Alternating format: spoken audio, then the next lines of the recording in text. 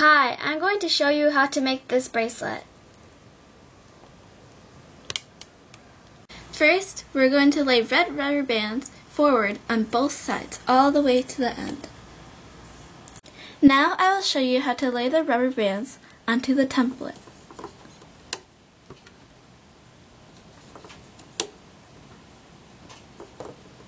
Be sure to continue this until the end and do this on the other side as well.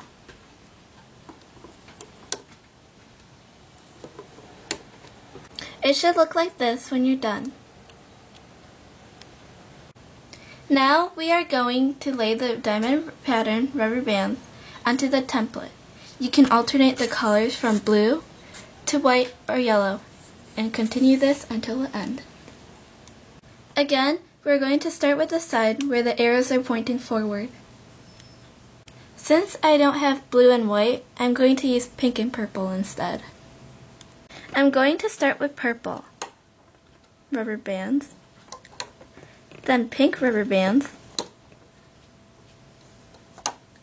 then purple rubber bands again, then pink.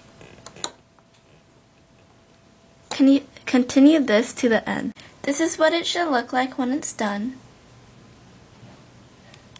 Flip the template over so that the arrows are pointing towards you. An easy way to hook the rubber bands is to hold the hook where the pointy side is facing away from you.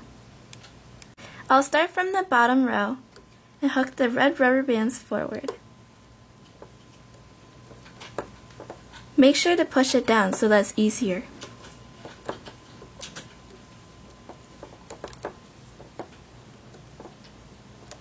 Now we're going to this pin and we are going to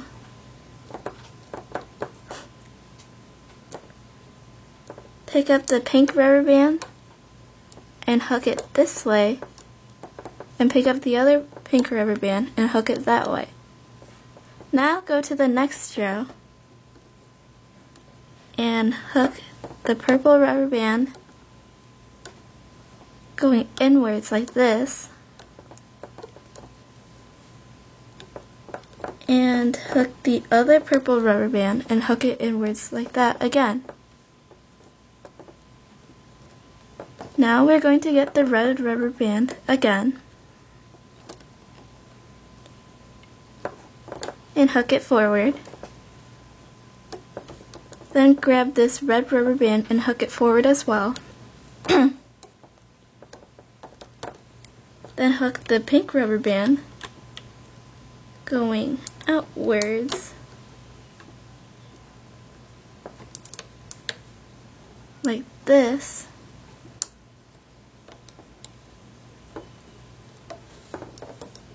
And hook the other side as well.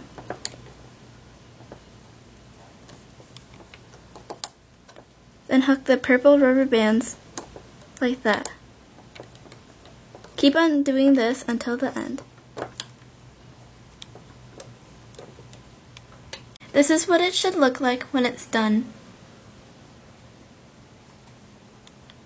Remove the last two rubber bands on this pin.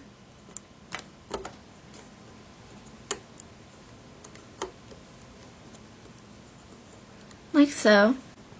Now we're going to put these rubber bands onto that pin, this pin right here, and these rubber bands onto this pin.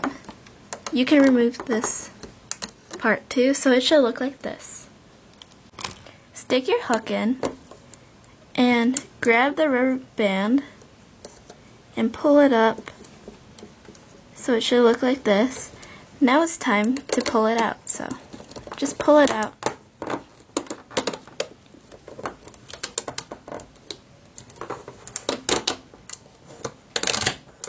This is what it should look like.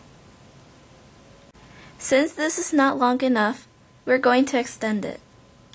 Start from a side where the arrows are pointing up, then just lay it until the end.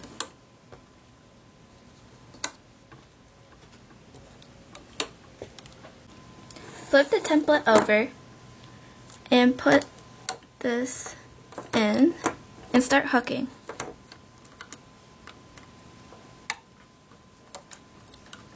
Continue this until the end. Put the C-clip in the last rubber band, then pull it out.